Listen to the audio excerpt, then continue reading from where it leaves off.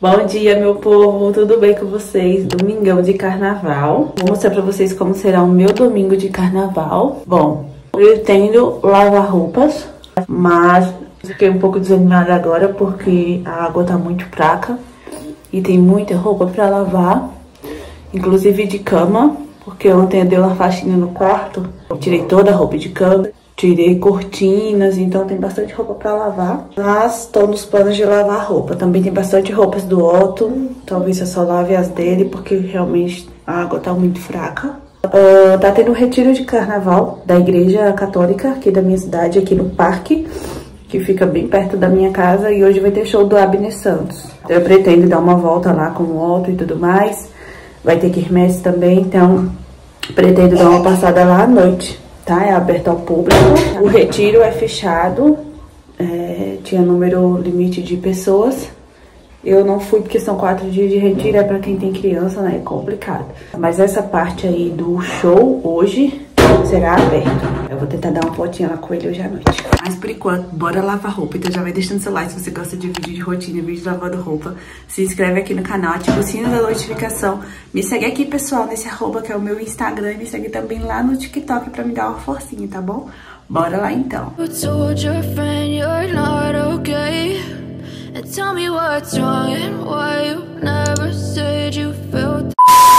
Então, pessoal, eu tenho toda essa roupa aqui pra lavar, ó. Muita roupa. Essas daqui que tem roupas do Otto, ó. Tem a mochilinha dele que eu queria lavar. Tem esses ossinhos que eu tirei ontem. Como eu falei, eu fiz faxina, né? Então eu tirei os ossinhos pra lavar. O que eu consegui juntar de água foi isso aqui, ó. Felizmente, né? Que dá pra lavar só aqui as roupinhas do Otto. O Otto está aqui brincando, ó, Enzo. Consegui um protetor nele. Esse sabãozinho aqui pra lavar roupas de adulto, roupa de adulto assim que trabalha, tipo meu esposo, né? Trabalha fora e tudo mais. Eu que fico pra lá e pra cá suando bastante, ele é ruim, tá? Agora, pra lavar roupas do Otto, achei muito bonzinho. Inclusive, muito cheiroso. Ele é tão cheiroso, dependendo da lavagem, eu não passo nem amaciante.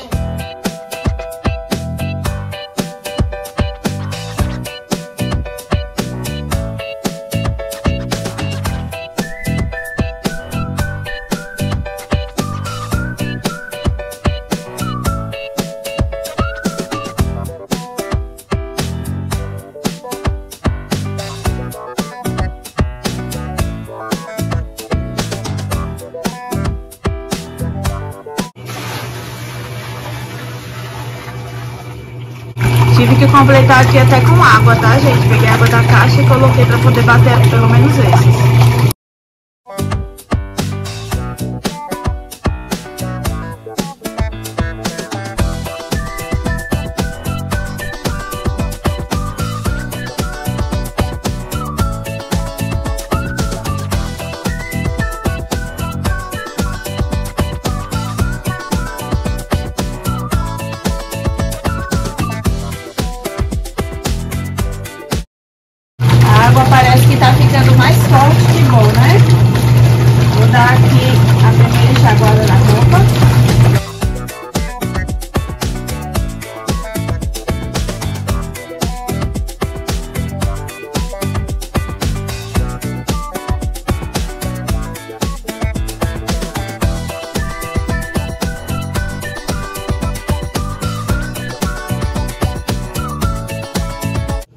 Pronto, gente, mochilinha lavadinha.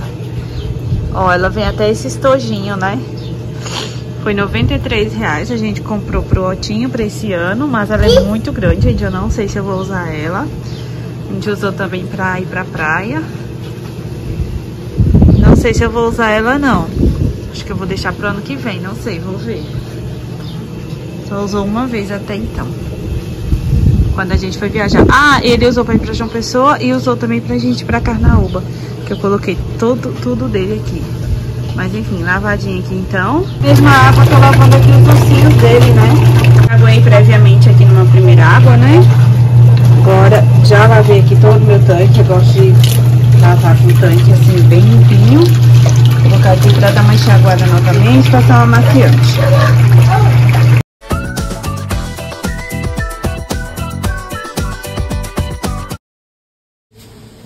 Amo esse amaciante aqui, gente. R$3,99, eu pedi pro meu esposo comprar. Chama Sonho. Ele é muito bom.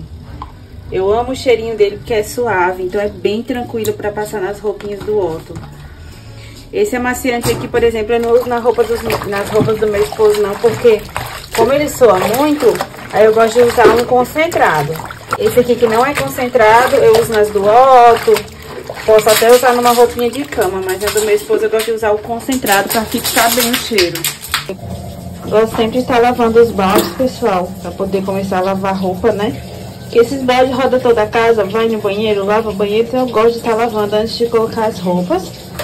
Do outro eu já lavei. Tinhas aqui ó, já estão lavados também, só falta enxaguar. Tá muito fraca, então eu vou pedir pro meu esposo pegar a água da caixa. Daquela caixa lá, ó. Pra eu poder estar tá lavando essa roupa.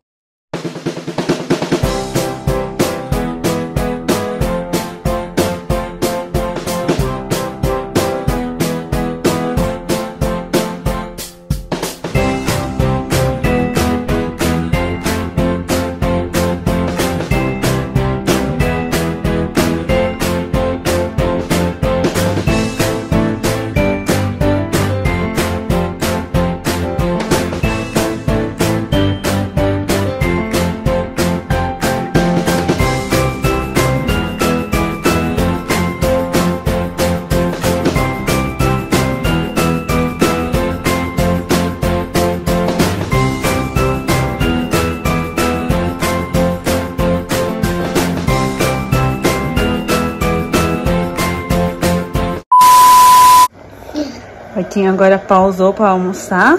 Cheio de protetor solar, tá, gente? Não é suor, não. Como, mamãe? Devagarzinho.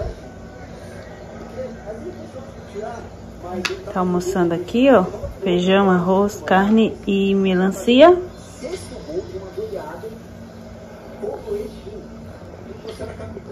Espalhou todos os meus prendedores, ó, pra me ajudar, né? Espalhou todos os prendedores. As acerolas caem do pé, ele fica fazendo assim com o pezinho. Ou então com a mão amassando, que ele gosta da sensação.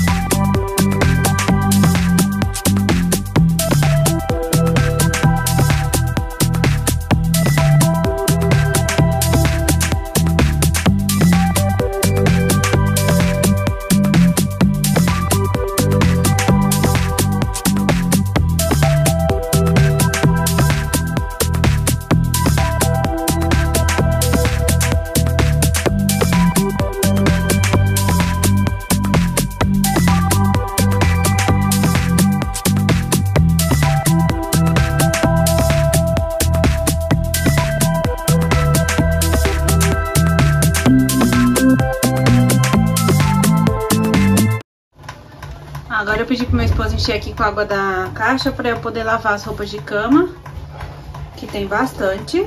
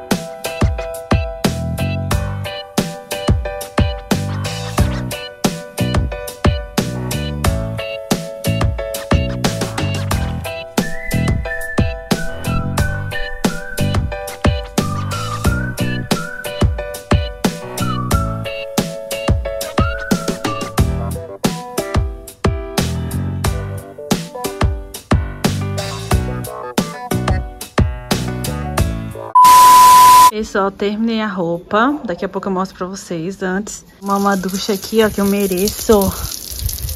Uh, que delícia!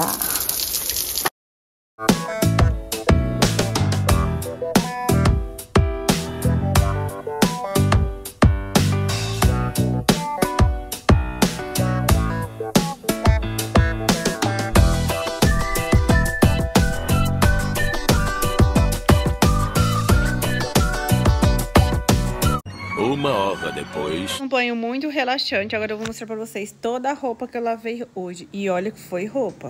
Três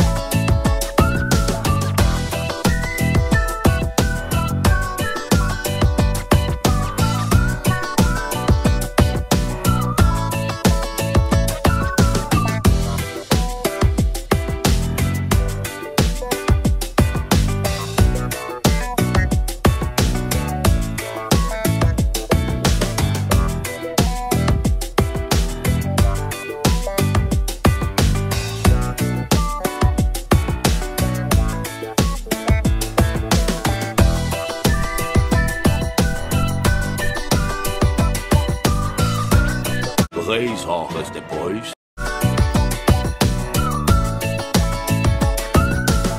Gente, dei uma sonequinha maravilhosa com o Otto. Deu pra dar uma descansada. Ele continua dormindo.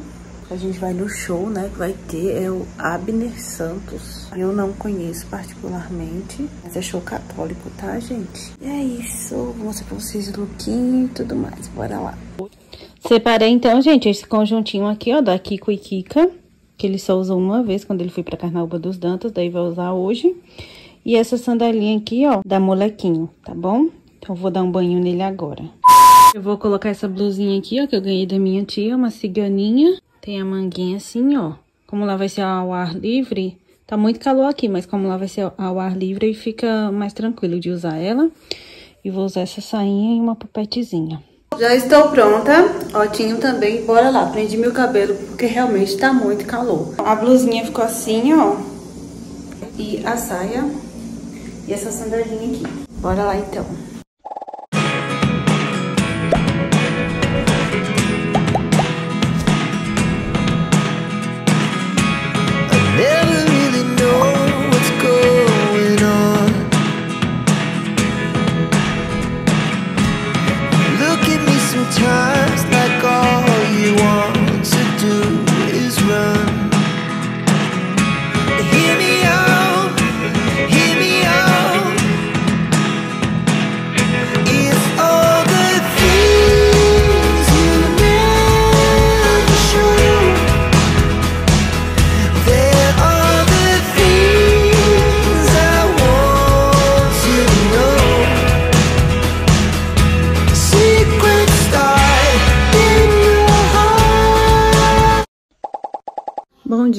Gente. Dia seguinte por aqui. Vou agora dobrar as roupas que eu lavei ontem, tá? Agora vou dobrar tudo direitinho. Pronto, gente. Tudo dobradinho, ó. Agora é só guardar. Agora eu vou dobrar as do Otto. Olha quem tomou um banho muito gostoso. Vai almoçar agora. Arroz, feijão, frango, abacaxi e melancia. Meus amores, agora já é a tarde, quatro e pouco da tarde, tá um calor muito forte aqui. E eu tô aqui deitada na rede, um pouco reflexiva, sabe? Como vocês sabem, eu moro no interior da Paraíba, uma cidade pequena, tem 7 mil habitantes. E aqui ao redor da minha cidade tem várias outras cidades pequenas, com poucos mil habitantes também, sabe? E aí tudo a gente acaba sabendo. Aí hoje de manhã chegou a notícia que parece que três jovens, sabe? Perderam sua vida em acidente de moto. Isso acontece bastante, né, gente, nessa época de carnaval. Então, assim, jovens que perderam suas vidas. Aí sempre fica, né, um pai, uma mãe, um familiar ali pra chorar. Às vezes, esses jovens, adolescentes, sabe? Não tem sabedoria, né? Não tem muita coisa na cabeça. Aí às vezes acaba bebendo, né? Conciliando bebida com é, veículo que a gente sabe que não pode. Assim, a gente fica triste, né, por esses familiares. Eu moro aqui bem próximo do parque, onde tá tendo um evento, né, que é um retiro de carnaval assim, dos jovens, 100% eu diria, são jovens. Se tiver alguém mais maduro, assim, é mais da comissão, sabe, de organização e tudo. Esse é um evento totalmente saudável, né, para o jovem ir, onde você sabe que não vai ter droga, onde não vai ter bebida alcoólica, onde só vai ter Jesus ali para o pessoal contemplar. Infelizmente, esse tipo de ambiente não tem muita gente, né? O pessoal prefere, claro, principalmente esses jovens, preferem, né, realmente a farra, a bebida, às vezes até a droga, né? Droga ilícita que eu falo. Enfim, gente, é, a gente fica muito reflexivo, principalmente quem tem, né, filho, né, porque tem que ter muita oração, gente, por esses jovens. Parece que morreram três em acidente de moto. E aí a gente fica pensando, né, que Deus tenha de misericórdia, né, da alma desses jovens, que Deus tenha de misericórdia de outros, né, que perderam sua vida nesse carnaval, que infelizmente, né, às vezes fazem coisas que os pais nem sabem, né? Eu não conheço, não tô julgando também, Deus sabe do meu coração, mas a gente fica realmente muito triste, porque às vezes a... poderia ter escolhido um caminho melhor, né? E às vezes acaba até nisso. Eu lembro que quando eu tava na sétima série, que eu estudava lá no Guarujá, que hoje em dia é o oitavo ano, né? Eu tinha uma professora de português que sempre quando ia começar a matéria, ela deixava uma frase reflexiva. E uma que ela deixou foi assim: A vida é simples, nós que a complicamos. Aí realmente se encaixa totalmente nisso, né? Eu achei tão lindo, gente, aqueles jovens ontem, é, ali naquele retiro de carnaval. No mês de maio do ano passado, eu fui para um retiro de uma cidade vizinha aqui que teve o retiro também do do 31 de maio, sabe? E eu fui só pro último dia, fui só pra missa, a adoração que teve, o show. Mas eles estavam lá realmente há quatro dias trabalhando para a obra de Deus. Eu não sei se vocês estão conseguindo ouvir, provavelmente não, mas o parque aqui é bem perto e eu tô ouvindo eles gritando porque tem várias atividades, tem shows. Olha só, nossa, isso é muito legal, muito saudável. Eu fico até emocionada, porque infelizmente nem todos os jovens escolhem isso, né? Escolhem realmente outros. O carnaval sempre é muito pesado, assim, sabe? É, eu nunca, juro pra vocês, nunca corri atrás de trio elétrico, nunca fui pra farra, essas coisas. Eu gosto sim do carnaval, mas eu gosto do feriado. É, se eu tivesse que sair assim no carnaval, seria realmente para ir dar uma curtida na praia. Mas hoje em dia eu tenho criança, eu tenho bebê, então eu acho, eu achei melhor a gente ir na, na, a gente foi no meio do mês de janeiro, porque realmente agora no carnaval é muita gente, é muita muvuca. E aí, pra quem tem bebê, não dá certo. Então é isso, gente. Se você é jovem, se você tá me escutando, procure o caminho de Deus, procure é, ambientes mais saudáveis para você, porque com certeza você tem uma família que te ama e um Deus que te ama também. Já vou encerrar esse vlog por aqui, meus amores. Espero que vocês tenham gostado, tá bom? Não esquece de deixar seu like, de se inscrever no canal. Um grande beijo no coração de vocês. Tchau, tchau e até o nosso próximo vídeo.